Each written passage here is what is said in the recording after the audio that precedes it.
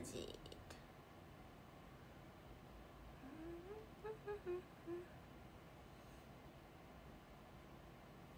今日はお仕事だったんですけど。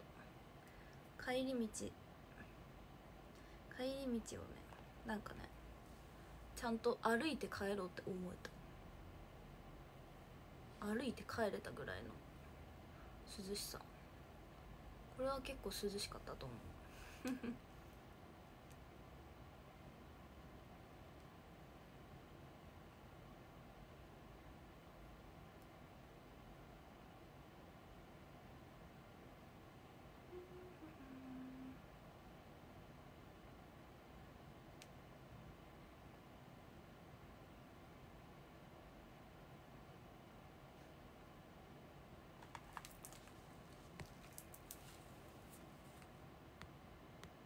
温度の感覚バグってるのではって。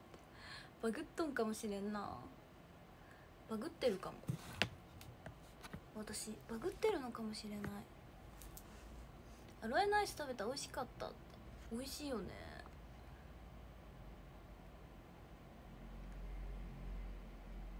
へえへえ昨日の体調不良熱中症でな夏風邪なんかさ最近風邪気味になる人多いよね。やっぱ夏風邪流行してるんだ。なんか今夏風邪多分すごい多いと思う。そう言われたらなんか私もさちょっと喉が枯れてるのかなって思えば思うし。今日は優しいなっちゃんが見れると聞いてきました。それは分かりません。それは分かりませんよ。そう言われるとなんか嫌です。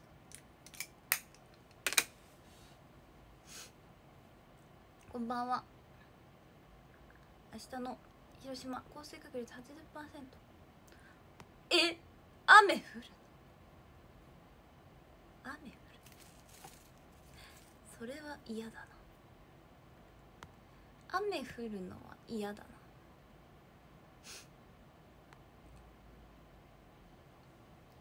雨降るともう何もしたくなくなっちゃうよね。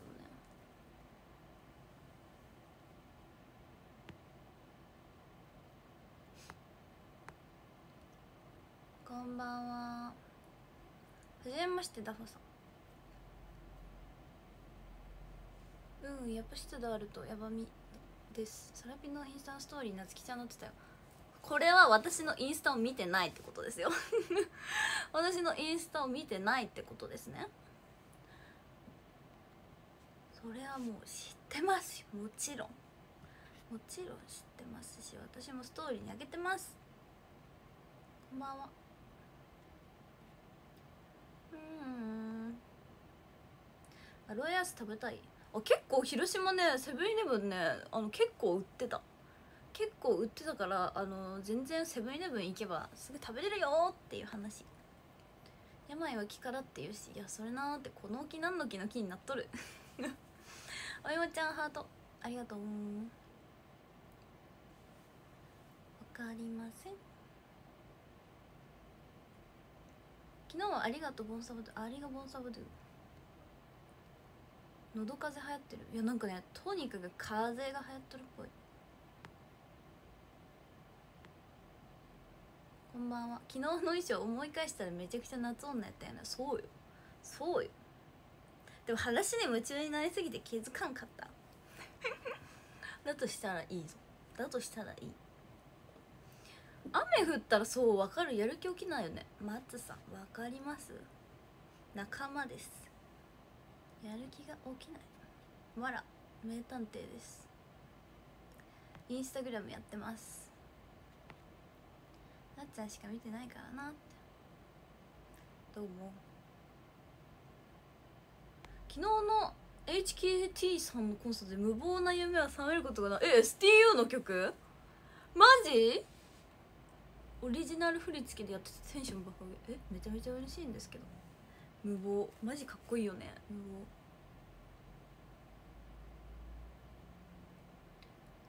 無謀な夢は覚めることがない。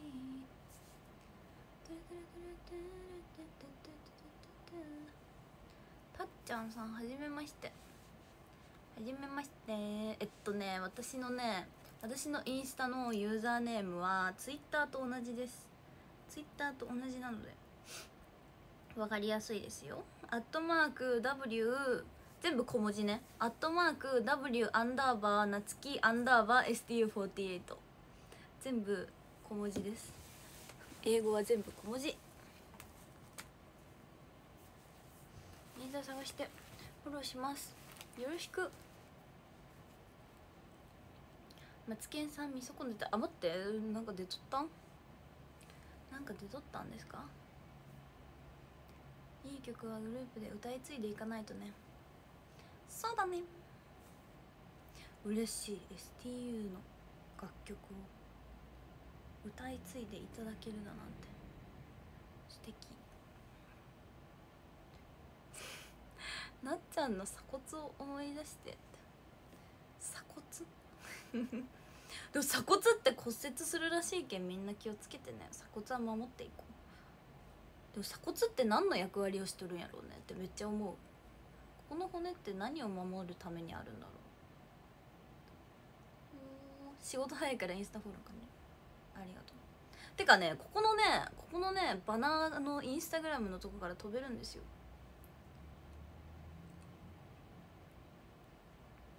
なっちゃん方 beautiful thank you thank you thank you thank you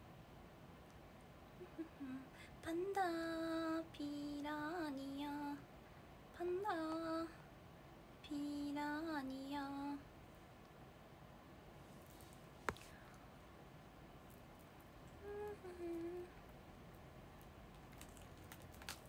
なっちゃん長袖そう今日長袖でだから過ごしたんよ私一日。でもね全然あっつーってならんぐらいの涼しさ。涼しさ涼しくはなかったけどなんかいけました。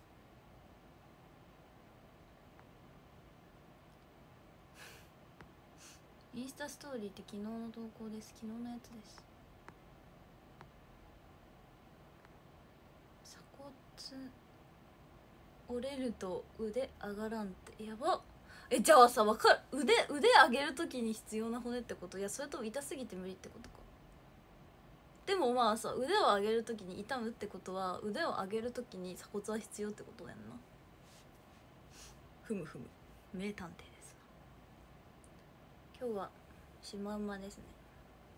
横島です。パンダ今日の服の色。パンダやね。パンダピラニア。イルカに体当たりされると骨がある。マジ？こんばんは。鎖骨は腕肩胸背骨をつなぎ合わせその動きを連結して助けているという重要な役割がめっちゃ大事。鎖骨ってめっちゃ大事。今学んだ。鎖骨に軟式野球ボール当たって折れた友達いるって。私のお父さんはちなみにソフトボールをしていたらボールがお腹に当たって肋骨が折れたことがあります。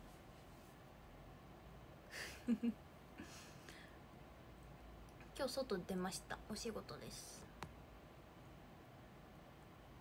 暑くなかったんですよそれが。こんばんは。腕と体をつなぎ止める。それが鎖骨。昨日なっちゃんデコルテが綺麗でした。ありがとうございます。なっちゃん昨日の話し会でたくさん笑った？笑った。海の何々配信？うん何？星に乗っとる？エレベーター乗ると暑くないのと毎年言われる。あアリーバンハロー。来世はなっちゃんの鎖骨に生まれ変わるよって。骨に生まれ変わる。でも多分鎖骨に生まれ変わっても毎日もう何も見えないと思う。こう隠れてて鎖骨レンタルはできないですね。はい。鎖骨なくなっちゃうとあるらしいんではい。無理です。マジかマジか。そう本当にお父さんは肋骨が折れたことがあります。でも肋骨折れると大変なんですってね。なんかあの肋骨その折れた肋骨が胃とか臓器に刺さったりするとめちゃめちゃ大変らしいけどお父さんはそういうなんていう骨折の二次災害がなくて。そう。よかったです。空手に手刀鎖骨打ちという地味で凶悪なえ？怖っ。鎖骨狙うってこと？でも剣道でさ剣道でさ「月」っていう技があるんやけどさここ喉をさガッてさ刺すやつ？あるんやけどあれさ普通に危なくない？って毎回めっちゃ思いよった。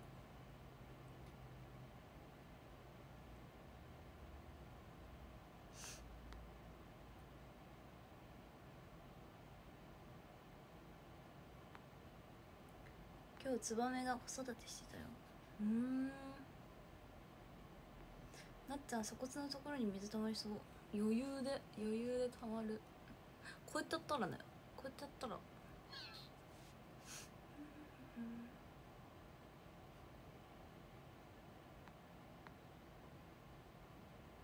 こんばんは。みんなこんばんは。そう中学校剣道部ですイェイイェイイェイ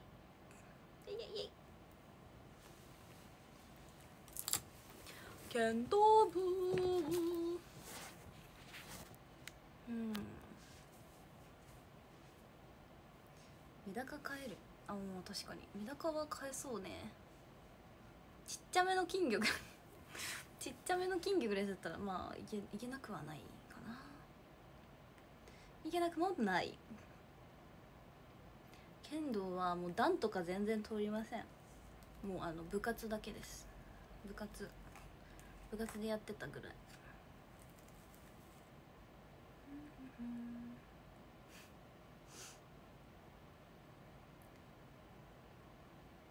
2年連続であばらに骨があばらにひびが入ります。えなんかくしゃみするだけであばらにひび入る人とかおるらしいよね。マジあのカルシウム取りなってなる。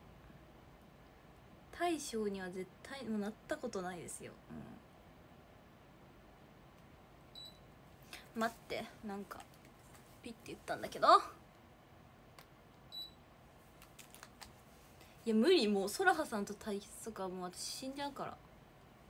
なっちゃん何段もう何段も持ってない。何段とか持ってないです。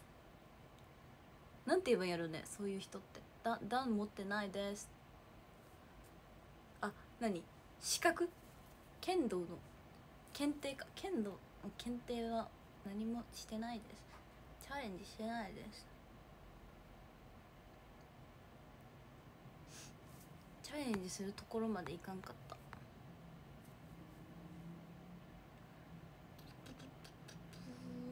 今日の日にツイート見た時の話かな。あの技は専門家の適切な指示のもとに行うからできる技。そうね。剣道ってむずいよねマジほんまに。隣り合わせ。怪我と。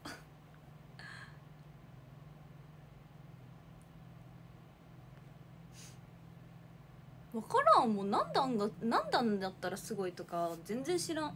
剣道。全然知らん。やり方を知っとるぐらい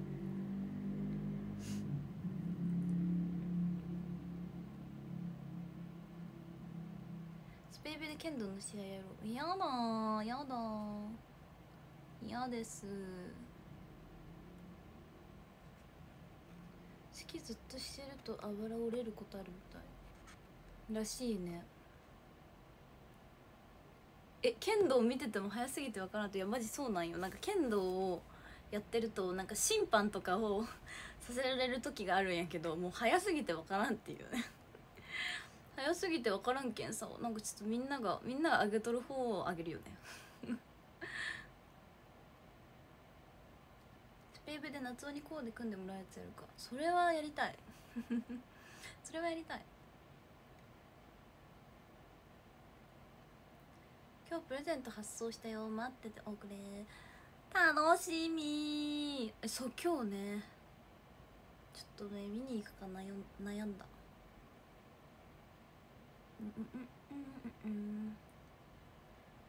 剣道の通算成績もそんなの数えてないですね数えてないですね2回とかじゃない分からんけど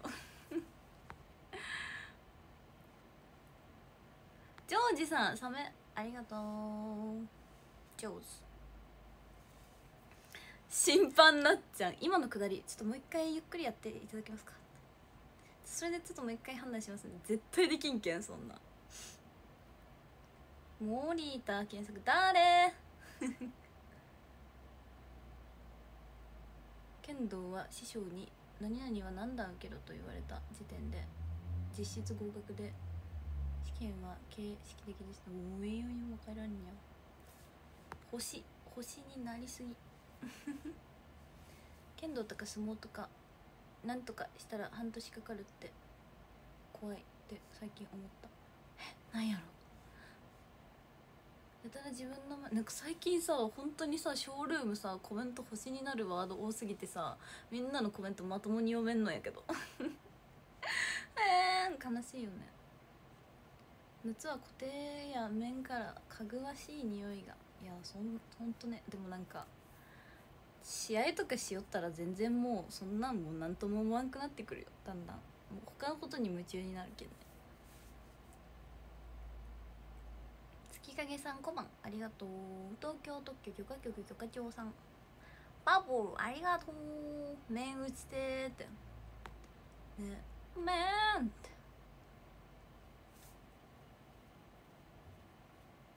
小学生の頃なんなんなんなんがうん。ねなんでなんでこんなに星になるわけ？もう本当に私もうずっとなんかさもう荒埋め問題をやっとるみたいでもう。悔しいんやけどもう。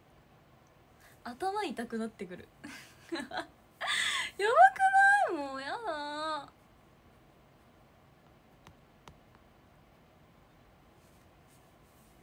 この星に紛れて絶対悪口言っとる人おるじゃろ。おるじゃん。ふん。ふん。ふん。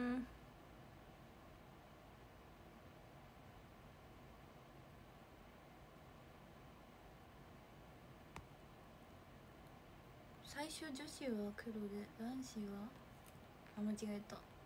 最初女子は白で男子は黒って決まってるかな道着の話かな。まあでもなんかそれは学校によってなんかあるらしい。なんか私の学校は絶対試合に出る時はあの女子は女子男女かな？ど全員か。みんな上下白。上下白です。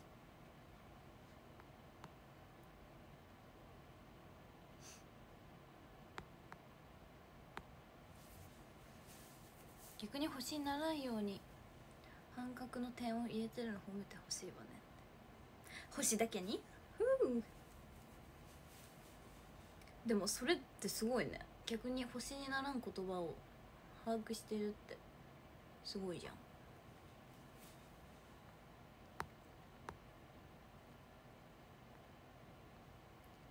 なっちゃんのことが星あい悪口言ってます。この人悪口言ってますこんばんは。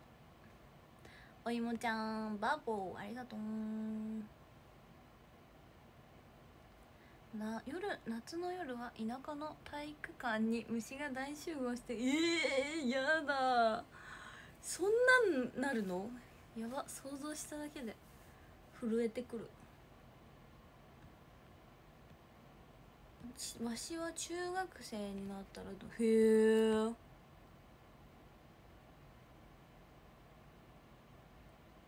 ほえ一番星の あれそれは星でいい。確かにねコメント送る前にさこれは星になりますみたいなさなんかできたらいいのにね。私は上下白袴です。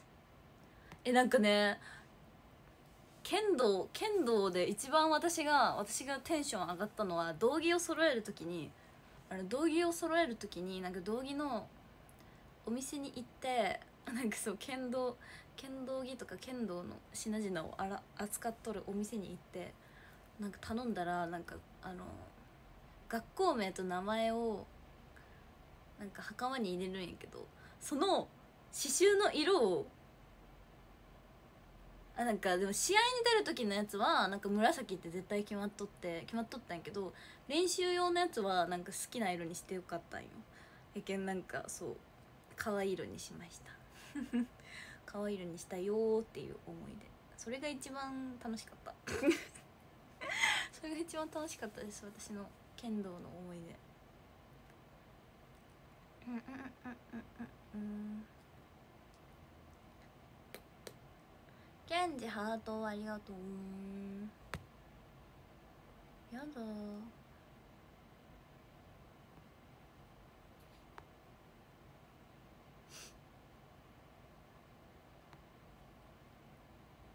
だるまありがとう。ケンジ。うんなっちゃん剣道部に本腰入れてます。いや本当にあの剣道は剣道はあのなんか絶対中学校の時に部活に入らんにはいけんなんか運動部に絶対入らんにはいけんっていう決まりがあって一番仲いい子が一番仲いい子が剣道部に入るって言ってたけんもう確かになんか剣道ってなんか道着かわいいじゃんと思って剣道部に入ってみました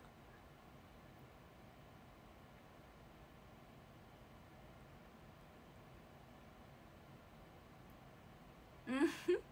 ショールームの社長がコメントしてた時に星になってて笑ったってそれはおもろい。それは面白い。面は透明なやつ鉄のやつ鉄のやつですね。うん。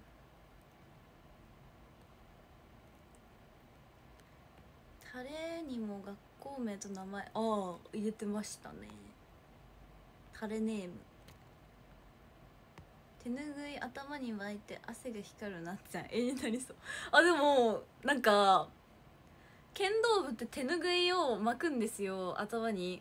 なんかそれはなんかお風呂上がりのお風呂上がりに髪の毛が邪魔な時にタオルをなんか頭に巻く時になんかすごい上手に巻けるのは多分剣道部で毎日手ぬぐい頭につけてたからだと思う。ウケる。こんばんは。ケンジだるまありがとうだるま釣り。月影さんだるま釣りありがとう。昨日の朝4時会社のグループ LINE にしょうもない LINE をしたら今日怒られた。いやそれはねしょうもないのは送っちゃいかんよ。厳しいね。厳しい会社ですね。自分の弓えー、弓道って弓道部ね。私のさなんか学校には存在したんだけど弓道部。なんか私の時はまだ中学生の弓道部がなくて今はなんかあるみたいだけど弓道部とかめっちゃいいやんって思った。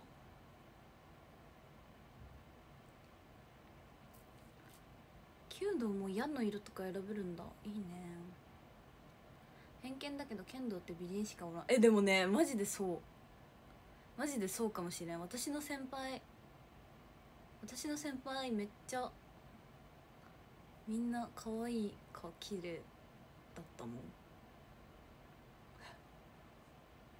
確かに。私の一緒に剣道部になった子たちもなんかめっちゃスタイル良かったり頭ちっちゃかったりなんか本当に可愛かったり。そうなのかもしれない女子は手ぬぐい選びも楽しいよ手ぬぐい選ぶの。あのなんか私ジブリのやつとかなんか手ぬぐい見つけたらさ手ぬぐいをなんかこう 可愛い手ぬぐい見つけてテンション上がる人大体剣道部女子説ね。うん。女子の白バカも憧れ。白バカまでした。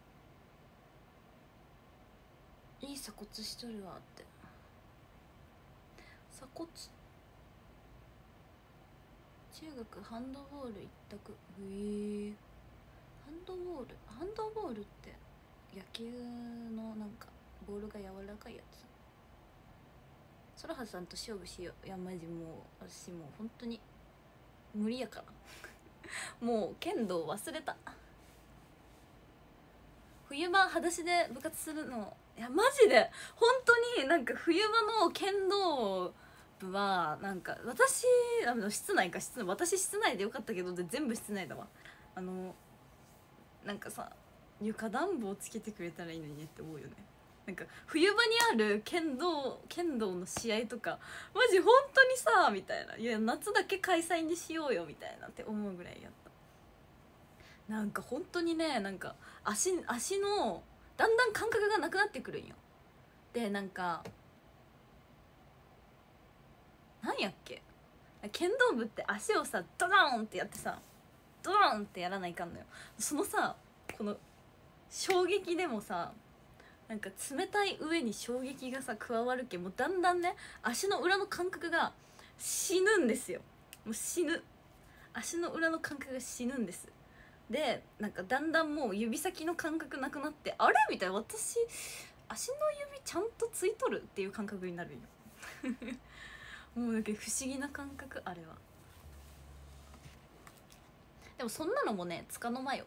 だんだん動いとって熱くなるけんね。もう何にもわからんくなる。一番なんか最初のウォーミングアップしよる時が苦です。なっちゃんが剣道部って意外だね。そうでしょ。だって私自分でも意外だもん。学校で中学校が絶対にスポーツスポーツ部をやらなくちゃいけないっていうのがなかったら絶対通らん道あったけまあ良かったんじゃないかなって思うけど。知識はあるので少しだけ。面をつける前の佇まいがいい。ああ懐かしいね。なんかすごい。でもなんか日本のなんていうの？わなんやっけ？なんて言うんやっけ？なんか武道の礼に始まり礼に終わる。それを学べたのでいいと思います。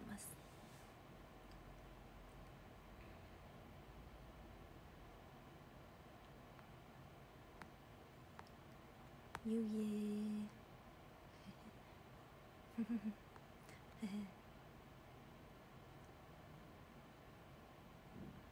手ぬぐいの文字？あでも手ぬぐいの文字。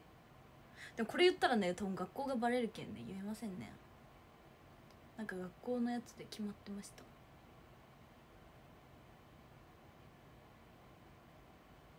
でもなんかいいよね。なんか試合に出る時はみんな統一して統一でちゃんと持ってきましょうみたいなのがあるの。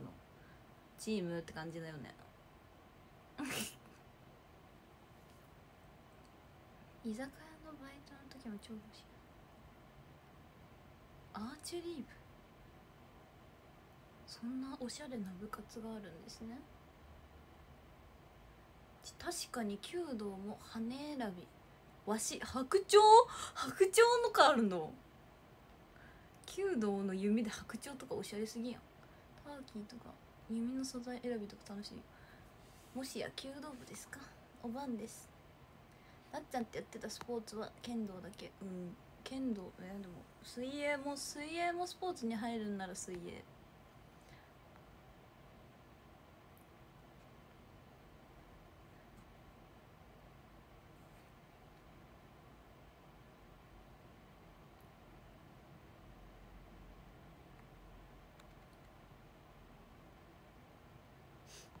なんか大丈夫そうっていうコメントがいっぱいあるから読まないですね。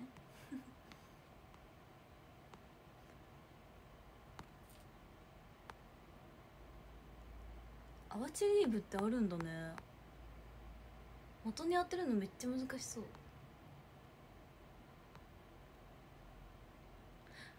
大きいクワガタが家の前にいたのでどなたかお子さんで欲しい方いますかって言ったらななんだ。剣道部？弓道部ね。私もねもうちょっと遅く生まれとったら入れたかもしれん。剣道。何稽古？サムサム稽古？か寒稽古？まだ道具あるの？ある。スイカ割りで勝負ならいけるかも。あ確かに。スイカ割り。冬の板張りの冷たさは異常異常です。夏暑くない？いやもうね暑いぐらいの方がいい。もう一周回ってね。もう暑いぐらいの方がいい。しかもなんか夏になったら扇風機が出てくるんですよ。なので。いやでもね面倒くさいのがなんか面を面を外さんにゃあの水分補給ができるのはちょっとイライラするよね。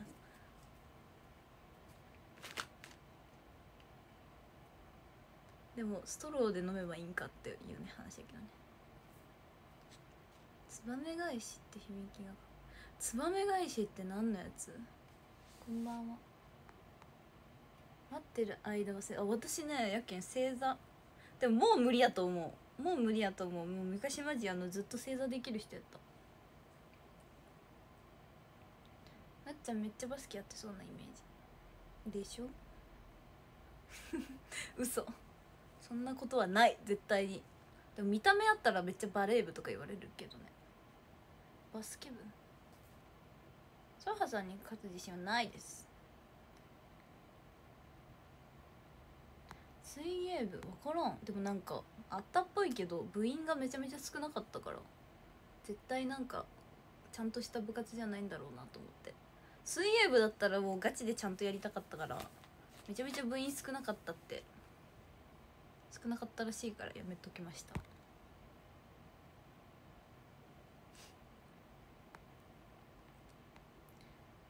の文字も学校ごとに違うよなって。そう。私たちはなんか四字熟語みたいなやつでした。四字熟語みたいな。なっての手ぬぐいには月とか書いてありましょう。ありありましょうじゃなかった。ありそうって。ないですね。水泳も立派なスポーツ。やったね。こんばんは。全然出身校バレるけどからあれだけど弓道で全国には行きましたね。えマジ？私の私の学校の弓道部もめちゃめちゃ強くてなんかあの弓道が強いからって言ってなんかすごい超有名大学に推薦で入れた人とかいますよ。なんか私の学校すごい武道武道武道の部活が強くてなんか高校私の高校行ってた高校はなんか全国1位とかになる人がいたりとかいましたし。1位取ったことあるんかな？なんかとにかくすごいんですよ。高校の剣道部。時たまさなんか中夏休みとかにね夏休みとかにね中学校のなんか剣道部が高校の剣道部様たちとなんか練習するみたいななんかやつがあってマジであの時ちょっと初めて死にそうって思ったもんね。死にそうですって思った。アーチェリー意外に命中率精度良いんよって。すごっ。じゃああれやね。あの漁師とかになったらすごいんじゃない？来月岩下の新生姜ミュージアム行ってえー、いいのいいのいいのと市内もね多分いろんなのあると思いますよ。面つけててもスタバあスタバ無理よ。あのねあのスト曲がるストローじゃないと無理やけん。STU で弓道剣道企画やれないかね。えー、ちょっと。その時は私はちょっと呼ばないでいただけたら。幸いです。こんばんは。そうそう。麺つけたまま。ストローで水分補給。ワン。ワンワンワンワン。ツバメ返し。カネッチさんタコありがとう。高校は何部だったの？高校はボランティア部です。JRC ジャパンレッドクロスやけんなんか赤十字みたいな。なんかいろんななんかよくわかんない。JRC 部ってやつです。なんかあの苦節用苦節用部活。なんかいろんな学校のゴミ拾いとかなんか近くの老人ホームになんかこうお手伝いに行ったりとか訪問したりとかなんか献血？なんか地域の献血のなんかご協力お願いしますみたいなやる人やったりとかなんかお祭りに行って学校紹介したりとかそんな部活に入ってました Hello, I am from Indonesia. Thank you, Ska, Ska. なんとかさん。私は県大会で優勝したけど、全国大会1回戦負け。九州勢が強い。やっぱ九州勢強いんだよね。こんばんは。ケンジハート、ありがとう。ハート、ハート。ああるある中学の時に高校の練習とか行ったもん推薦のそういうことかなるほどなるほどなるほどやでもなんかそのなんか全国で1位とかさ。えなんか剣道ってねなんかねなんか代わり番号なんかだんだんなんかこう一人ずつずれてってさなんかこうやるんよ。練習とか。でさなんかうわやばいみたいな。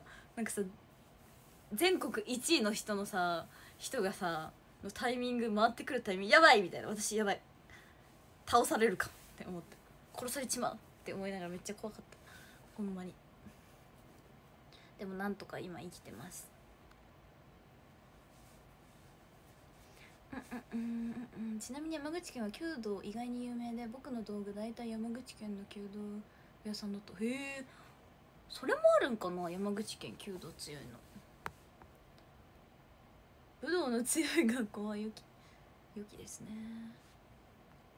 初見です。初見さんありがとうございます。はーい。なんかすごい。なんか同じコメントがいっぱい来てるんだけどこれはバグですか？それとも嵐ですか？こんばんは。なっちゃんが献血したら倒れてしまいそうだ。私献血できるんかな？わかんないや。どうなんだろう。文武両道そう文武両道をテーマにしてる。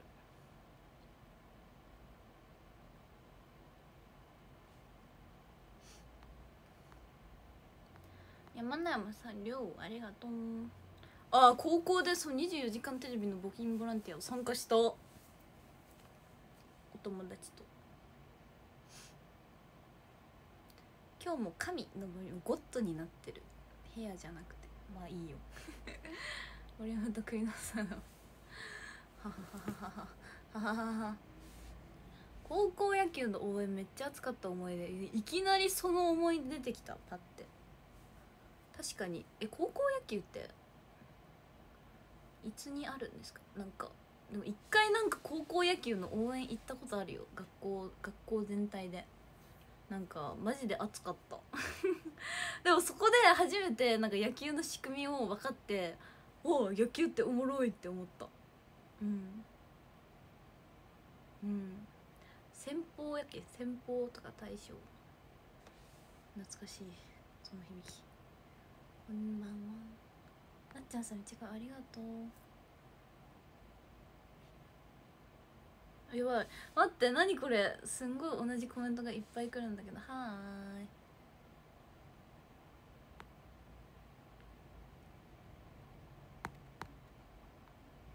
そういうなんかあれなんかな。そういうあれ設定になっとるかな。大体中学校の授業に武道ある。中学校使われるうん上手い人は打たれても痛くない。えそれそれわかる。あのなんか上手い人やとなんかメーンって打たれても「え？みたいな「今打たれましたっけ?」みたいな。すごいんよ。なんかもううわこれが違いかって思ったも。時たまマジで頭に鈍痛がするぐらいなんかドーンって響く人おるよ。なんか相手の HP 削るんじゃないぐらいの人おる。そういう人って大体なんか部活の中で謎キャラの人ない？めっちゃ面白い先輩でしたね。その先輩。予選は今やってる？山口県ベスト8決まったよ。っチアガールはしてません。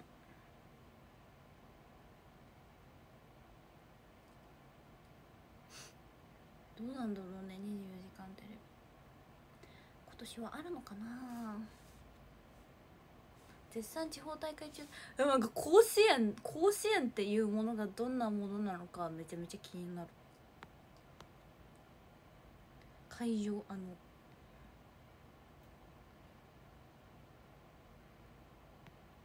通学は行かされそうなんや。こんばんは。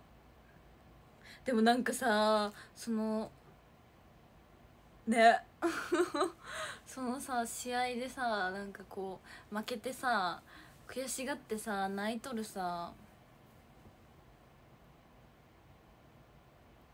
泣いとる。なんかね野球部の人たちってなんかめっちゃいつもなんか賑やかにしてるイメージだけど泣いとるなんか涙を見たらなんかね確かにさなんか高校野球ってさ青春の塊やね。甲子園球場。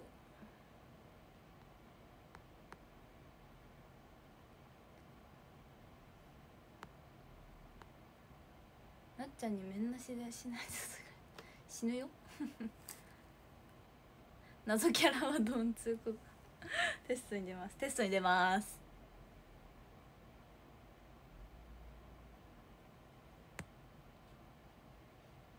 この暑さの中野球するとかすごすぎる。ね。すごいよね。えそうよ。本当に。去年の去年の甲子園はすごかったもんね。下関国際が。下関国際が。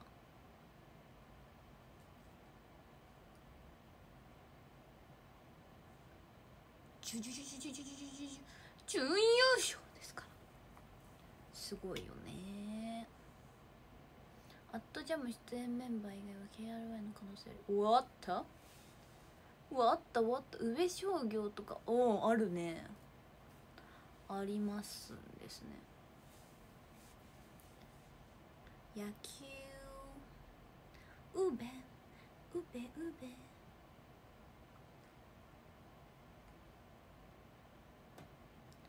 昔は部活中は水分補給禁止だったらしい。えー、えー、そうなそんなの大変やな。えじゃあバタバタ人倒れよったんやない。大丈夫そう？うわなんか今ので思い出した。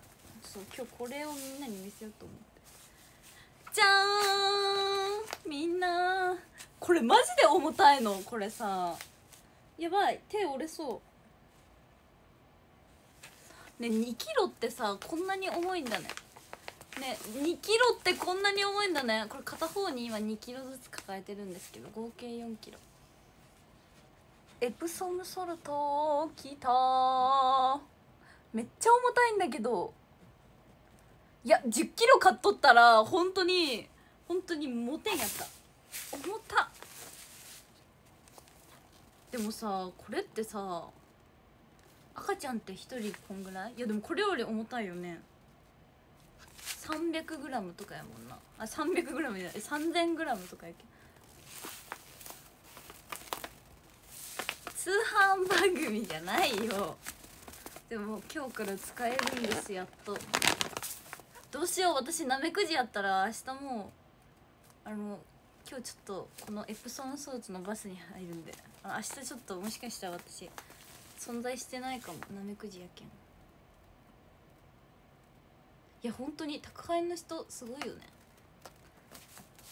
でも重たいのでなんかそう下に置いてくれました。じゃあさなんか健康有料児だったらさこうってことか。健康有料児。えなんかさわかる？なんか花ちゃんはさ5キロあるけどさなんかさちゃんと多分さ自分の力でさこう踏ん張っとるけんなんかさなんか軽く感じるけどさこれって本当にさなんかね重たいから無理。あー。ぶん投げちゃった。こんなことは絶対してはダメです。私なんかもう家に今さ塩がいっぱいありすぎて大変なんだけど。なんかこの前さ神社に行った時にさそうちょっと塩を買ったんですよ。じゃーん。じゃーん。塩を買ってみたんです。でなんかさそのさ売ってるさ塩がさなんか2種類あってさなんかスタンダードっぽそうな塩買った。清め塩。これってさこの量買ってさどうしたらいいわけ？これ盛り塩する以外さこれ料理とかに絶対使うものではないじゃん。これどうやって使えばいいんやろ？これ体中に巻けばいいんか？体中に巻きますわ。料理とかは絶対ね料理とかにでもなんか体内からねみたいな。あでもこれすごいわ。ナルトの塩ですね。玄関の両脇に盛る。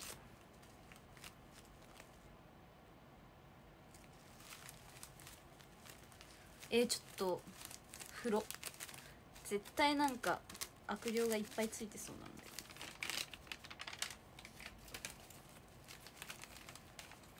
エスティーの子森塩好きやなって。いやいやどうなんだろうね。というわけで。住吉大社そう住吉大社に行きました。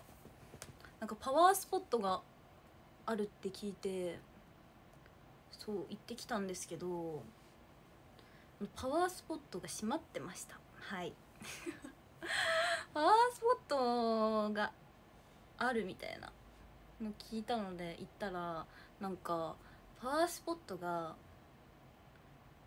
6時6時に閉まる。いや4時とかか。4時にパワースポットがなんかとりあえずなんか一旦閉める閉まっちゃうタイプのところだったみたいで。そうまた次回。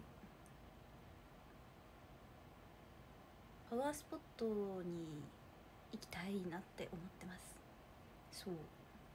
でもなんかさちゃんとなんか門がさ閉まる時間がある感じさほんまにパワースポットやと思うんよ。でもなんかね門の隙間からねちょっとパワースポットらしき場所は見えた。そうなんかさこう分かる？その感じ。なんかお休みの間にこうなんか放出したパワー貯めてる感？いやなんかある感じ。なんかパワーをいつも放出しとう感がなんかなくていいんじゃないって思う。あなんかねそうなんか石が有名らしい。ハローハローそうなんかその感じがいいよね。しかもなんかその街並みもすごい良くて。その街並みもすごい良くて好きでした。路面電車とかあった。神社仏閣は17時前に行かないとって。17時前。ああやっぱそうだわ。16時にさあれだったんよ。16時に門が閉まっとった。なんか6時か16時か忘れたけどいや16時やね。16時。16時に門が閉まっちゃうところだった。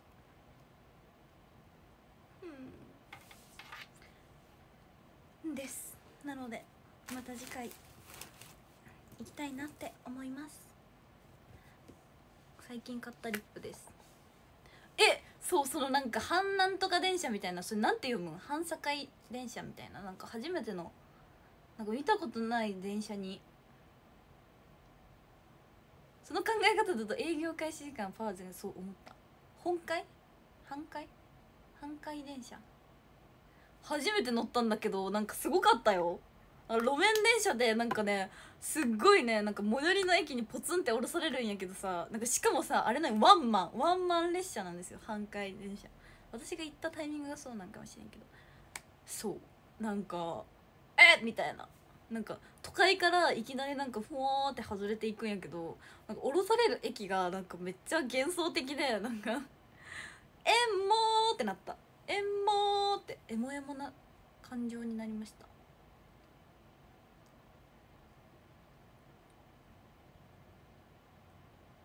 M 感情。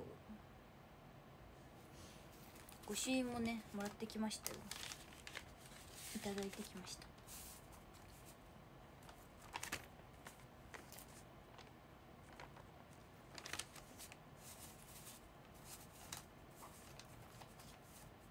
何やったっけ？半壊電車。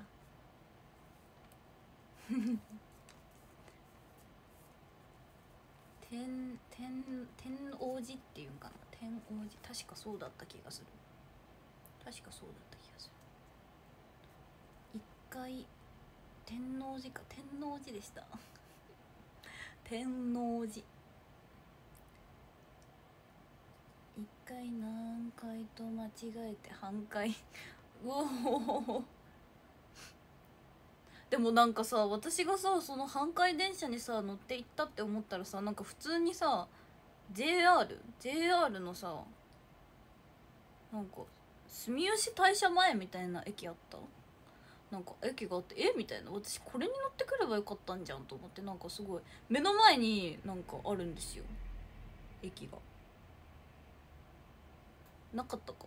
いやなんか目の前にさドーンって駅があったけどえ私これに乗ってくればよかったのにってめっちゃ思った記憶がある。そう。違うか。違うか。帰りの駅が目の前にあるのか。何階でわかんない。アベノハルカスの下にあるの？えそうなの？でも確かに途中「アベノアベノ」って言ってた気がする。大阪と栄？堺？堺市をつなぐから阪海電車。そういうことか。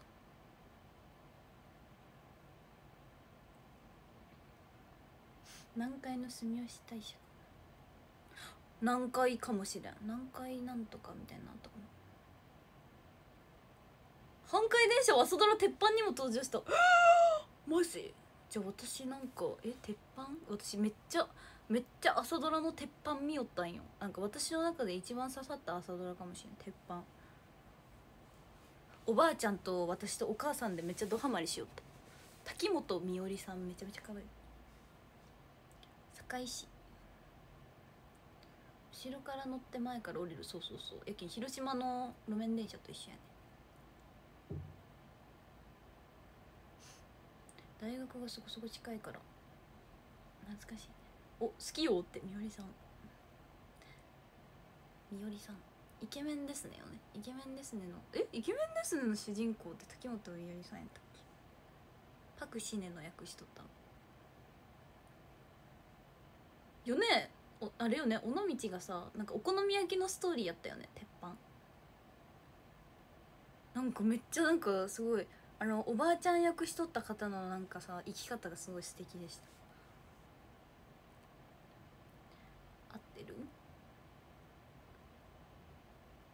ここのところ朝ドラ見てるなーって。朝ドラ。いいですよね。あべの近所なんでドキドキって。えー、じゃああのあべのあべのキューズモールとかめっちゃ近いんですか？アベノキューズアベノってイメージアベノキューズモール。8月26に日本で80年ぶりに新しい路面電車できるから栃木のにえー、栃木に路面電車できるんだ。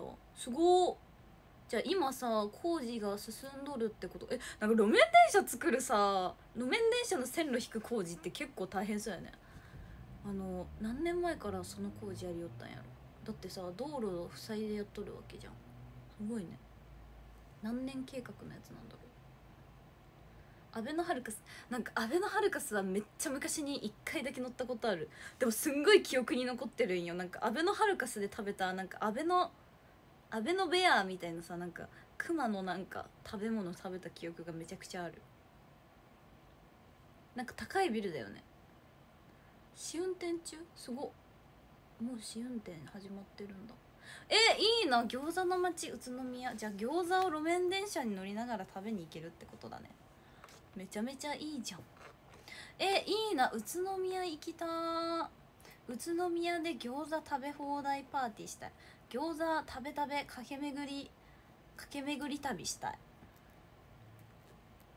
なんかさ餃子のタレをさ違う食べるラー油を片手に持ってさこの食べるラー油のこの一瓶なくなるまで餃子いろんなところで食べようみたいなちょっと YouTuber みたいなことしたいんやけど。調味料を使い切るまで終われまてんみたいなやりたい。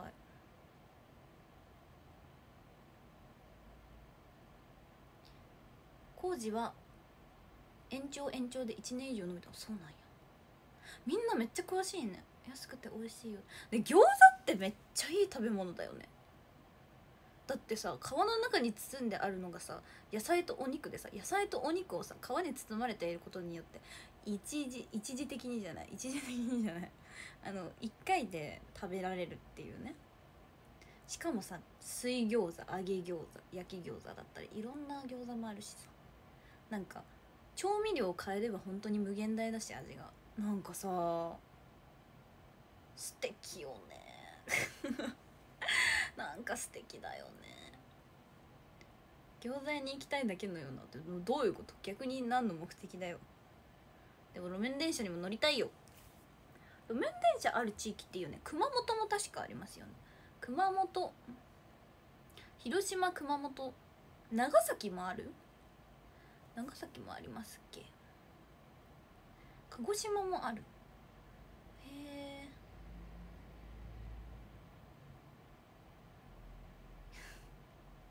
ラー油山盛りね。岡山もある。キラッセってとこに来ればいろんなお店の餃子が。え素敵。松山もあった。あったね。お芋さんこんばんは。函館もあるんか。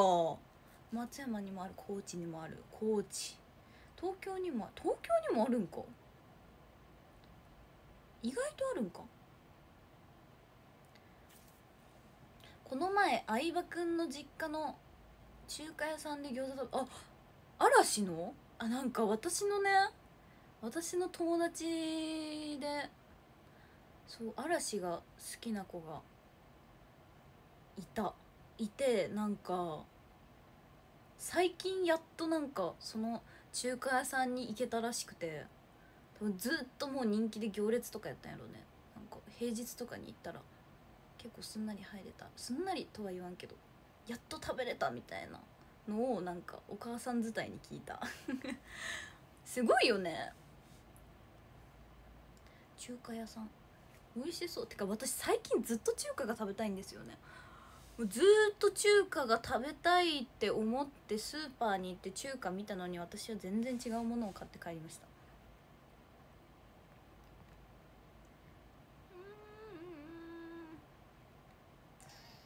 熊本鹿児島長崎高知松山他。結構あるな。京都や神戸にも昔はあった。へえ。富山。と都電荒川線？東京のやつ。富山の路面は優秀らしい。待って優秀ってどう優秀なの？優秀な路面電車。LRT 宇都宮ってやつなんだ。そのね可愛くない？私の新しいスマホのアイテム。可愛いよね。めっちゃハートハートにまみれてる。え可愛くない？私の携帯がもう世界で一番可愛い自信ある「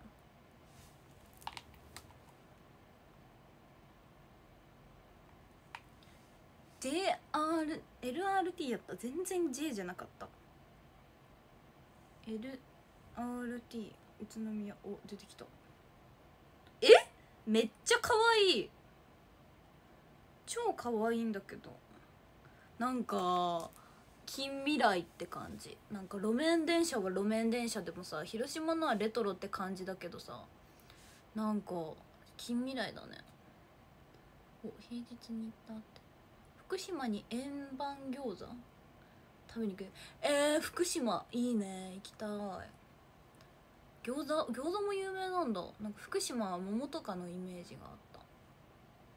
江ノ電。江ノ電。私めっちゃ行ってみたい。江ノ島でしょ？江ノ島って海きれいなところだよね。あのトンビに亀パン盗まれるとこだよね。違うっけ？めっちゃ行ってみたい江ノ島。最近ようやくチャーハンをラーメンの残り汁に残り汁と食べる。美味しさに気づきました。なんじゃそれはそれはすごい考えだ確かに美味しそう。エビチリ北京ダック。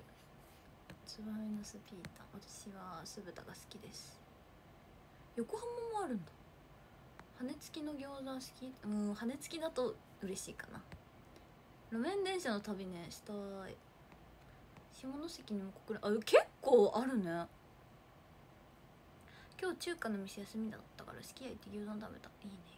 さっき最近のちょっと待って最近のすき家の牛丼のあのニンニクニンニクが乗ってる牛丼をマジで食べてください。あの食べてくださいね。本当に。はい。よろしくお願いします。おギャルって感じじゃね？だよね。可愛いいでしょ？携帯。富山のも新しいんだ。おー。こんばんは。今日行ったらサンリオにクロミちゃんコーナー新しくできたよ。えー、嬉しい。なんかそうこの前昨日プレゼントを受け取りに行ったらすごいクロミちゃんグッズがたくさんプレゼントできててちょっとだんだん浸透してきたんだなっていう喜び。待ってます。クロミちゃん見つけたら私のこと思い出してください。よろしくお願いします。黄色と黒。そうなんや。元京都市電の車両が広島。やけんあんないい感じにレトロなんか。福岡の鉄鍋餃子食べたくなってきた。いやなんかいっつもさその福岡の鉄鍋餃子のさなんかお店見つけるとなんかすごい名前呼ばれてる感じになるんだよね。なぜってだけなんだけどね。鉄道好きなの？ってえなんか路面電車の話をしてました。なんか路面電車っていいよねっていう話。江ノ島。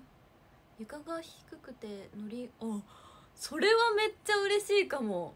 路面電車って床が高いんよ。やけんなんか謎にでっかい階段でっかいっていうかさちっちゃいけどさ一段一段がめちゃくちゃなんか高いやつ乗らないかんや。あれマジさこけるでって怪我するでって思うやったけど。それはすごい。床が低くて乗り心地それは超いいね。レトロなやつはね大体「え？みたいな「Not バリアフリー」って感じなんだけど。うんうんうんうん。LRT の運転士の要請を広電がやってる。すごっ。だって広島のさ電鉄って本当にもう根付いてるもんね。いてててて。江ノ電は外人さんがアニメか何かで有名。えあのあのやつ？ピースってしたやつ？あんたあなた好きやのなんだ？あちこちえいいな路面電車。うんあ江ノ電のやつは路面電車ではないんだ。普通に電車？そう私はあのクロミちゃんの中でもあの紫のクロミちゃんと黒いクロミちゃんがいるんですよ。頭巾が。黒い頭巾のクロミちゃんが大好きです特に。最近マイパチルンの黒みをゲットしたんやけどさ文字パーツをなんかさ毎回見つけても買わんくてさ文字パーツ文字パーツをゲットしてないか。19から始まる4桁の電車を見てみよう。なんだろうそれ。き家のチーズ牛丼。え私も食べたことある。めっちゃ美味しいよね。チーズ牛丼。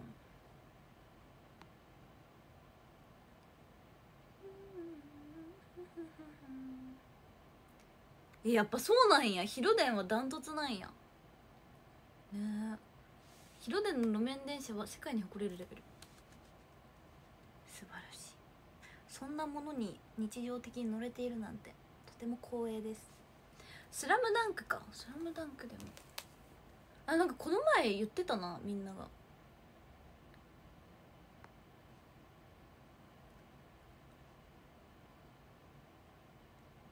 広島の路面電車5メ50メートル動いてすぐ次の駅で行く。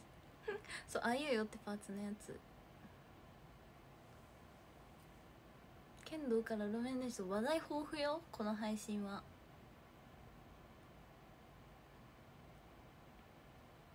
チーズ牛丼美味しいです。さいやんかわいいありがとうこんばんは。江ノ島と聞いたらボッチ・ザ・ロックがすぐ思い浮かぶけどって。あなんかそれ最近流行ってる漫画ですか？一番駅と駅の間が短いのは高知の路面です。へえそれやったら歩きようってなるけどね。でももっと遠くに行くんだったら全然ねあれなんだけど。実は江ノ島に乗ったのですがスラダの聖地巡り。おおやっぱ聖地巡礼なんだ。えねえすごくない？あのジブリの新作。あのー、あれだよ。あのー「千と千尋」超えちゃったんだぜみんな。すごくないか？興行収入が。興行収入のまだ公開されて4日 ?4 日とかでもう抜いたんだよ。すごくない？その多分「千と千尋」がその時の。ドンって抜かしたらしい。えぐない。すごいよな。すごくないか。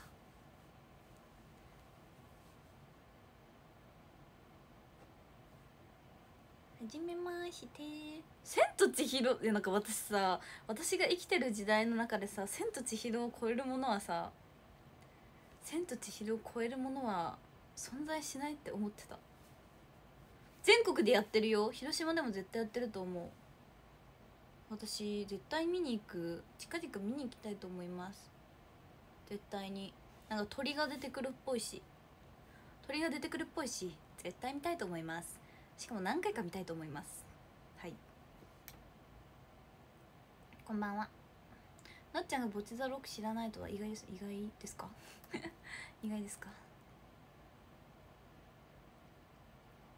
へえスラムダンクもその戦略なの？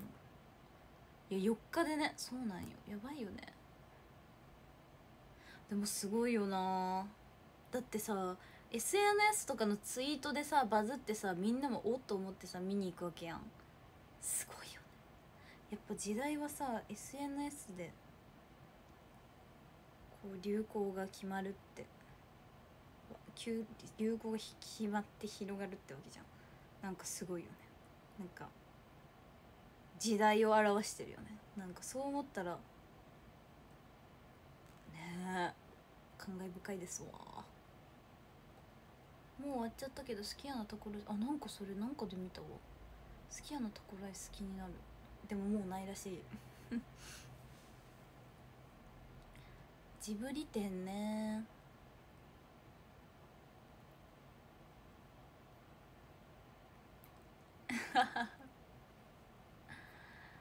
ジブリ展また山口県に来るんだったっけ？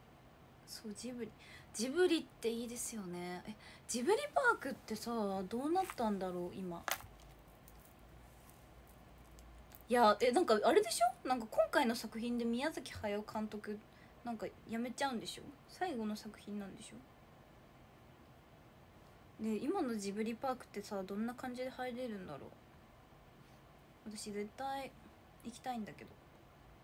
ゆっくり来てくださいってさ書いてあるじゃん。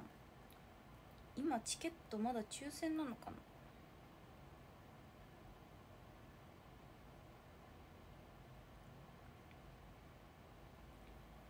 ？6月分？月分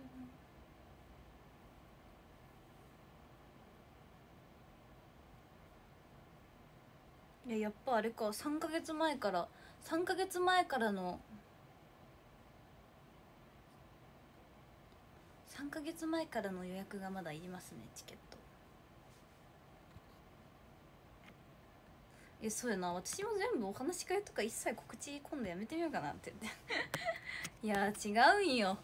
もう今回の今回の今回すごいこう大バズりしたのも宮崎駿監督の今までの積み重ねがあったからなんですよね。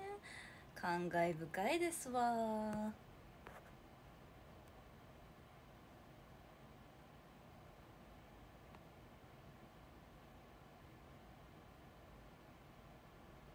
予約せやでね。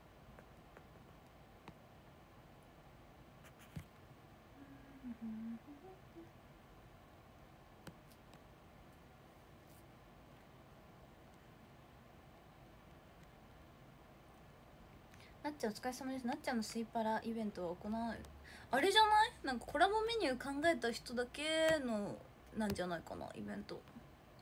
コラボイベント？は多分そうなんじゃない？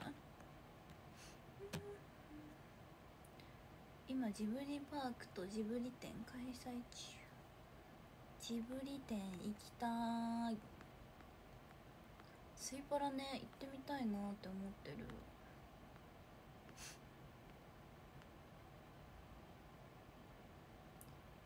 焼きそばさんハートありがとう。せいやさんかわいいありがとう。今日も鍋にするって。ポスター一枚で宣伝してみた。らそうしようかな。そうしようかな。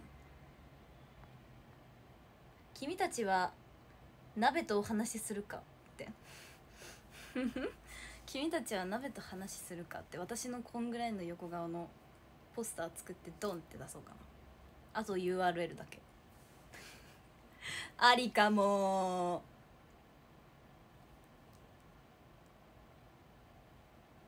君たちは誰と話すのか？鍋と話すのか？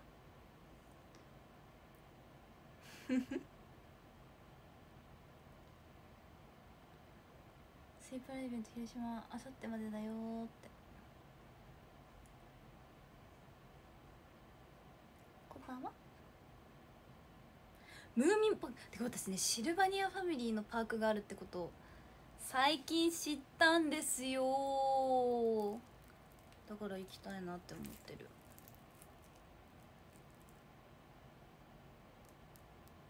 そう。これ多分あれですねあの服服をさ引っ掛けハンガーに引っ掛ける時に使うピロピロ。ねこれってさちぎるべきなんかなっていつも思う。襟がさなんかビヨンってならんよう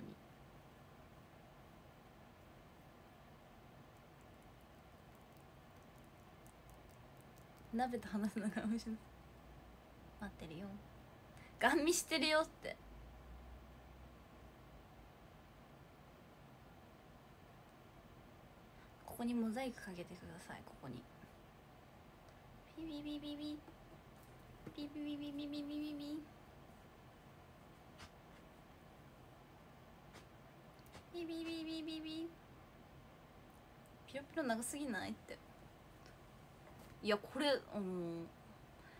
商品陳列こうこうこうってこと？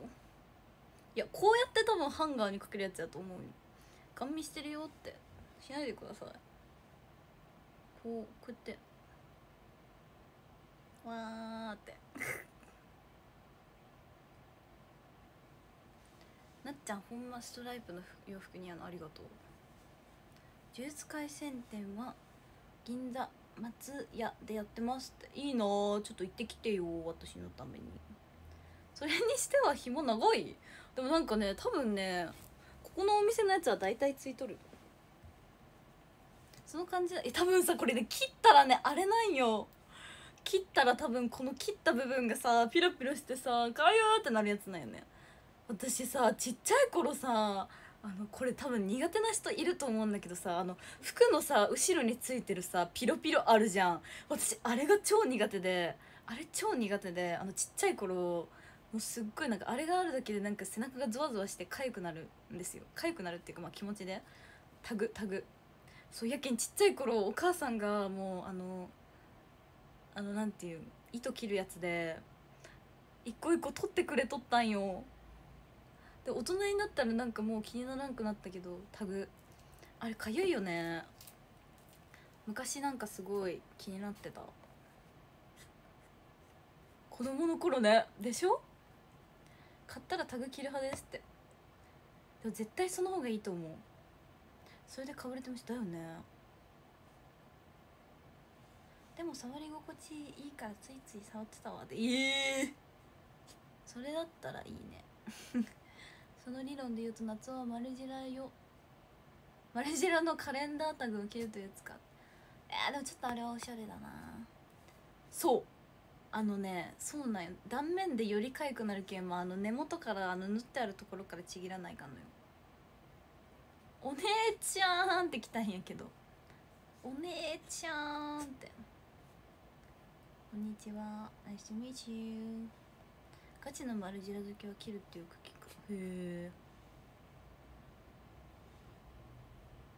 自分が製造担当ならコスト削減製造工程の簡略策でもっと短くするように提案するっていうかもうなんか印刷でいいんじゃないって思うけどね。すまん呪術廻戦は明日から名古屋でしたって。おお。じゃあいろんなとこ巡ってるってこと？あのなんかあれ？ロフトとかで開催されるやつ？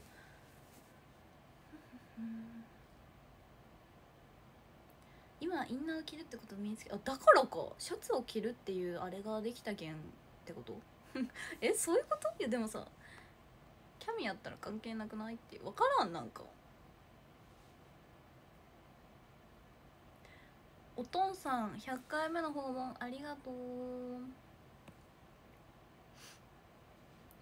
米？米米？えよね？これあのあれよな。型崩れせんようにするやつよねハンガーの。ピョーンこうやって操り人形なんよ私は。誰にも絶対操られないけどね。操れるもんなら操ってみなよ。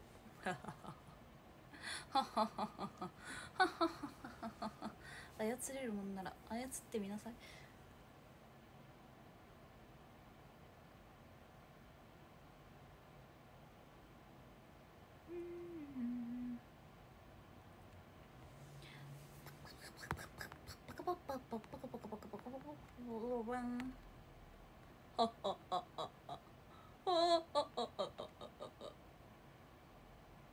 セイヤンビーチボールありがとう。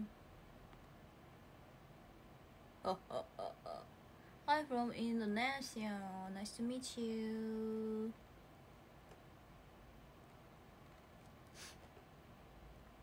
花ちゃんならできそうってどううわ花ちゃんでも私を操ることはできません。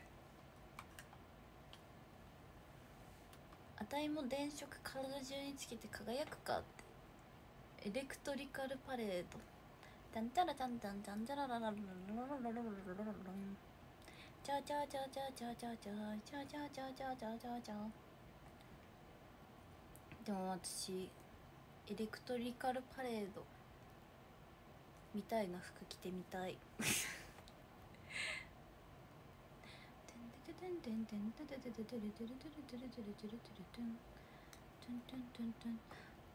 なんか今のちっちゃい子に流行っとるあの光る靴さ私たちの時代にさあんまりさ普及してなかったけどさめっちゃいいよね最近の子絶対私がちっちゃい頃にあれあったら絶対あれあれ欲しいってなっとったないんかな大人用のあでもなんか一時期流行ったんよ私のね私が中学校ぐらいの時に靴底が光る靴がめっちゃ流行った。なんか私も持ってた気がする。流行ったんですよ。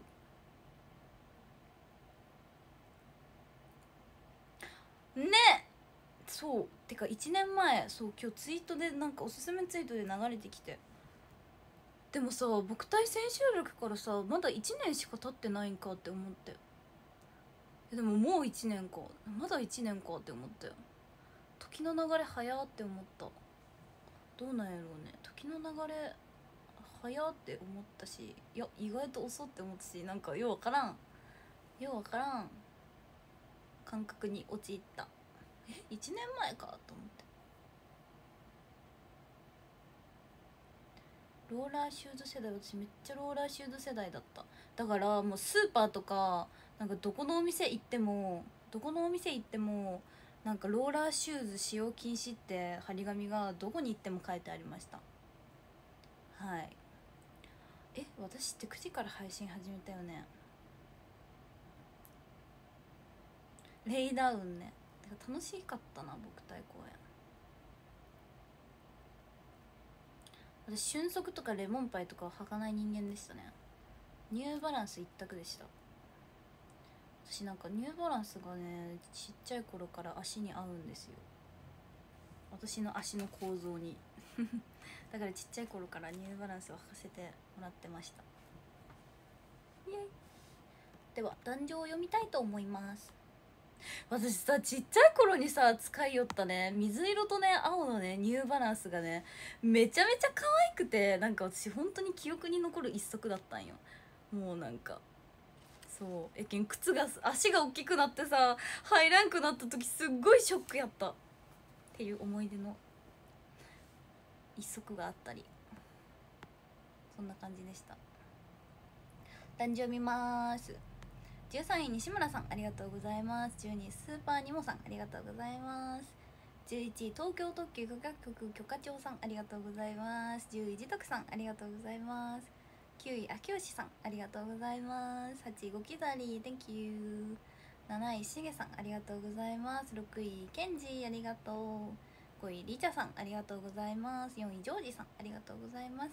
3位月影さんありがとうございます。2位おいもちゃんありがとうございます。そして第1位電化会さんありがとうございます。では皆さん今日も一日ありがとうございます。マイニューバあ作れるやつあるニューバランスにも。えだとしたら作りたいんだけど。2期生はお披露目からすぐ僕といやほんまにめっちゃ頑張ったなって思う。